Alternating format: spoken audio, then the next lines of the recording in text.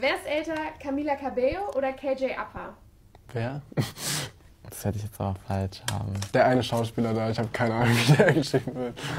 Camila. Achso, okay. Ja, das ist so, ja. das ist so Camila.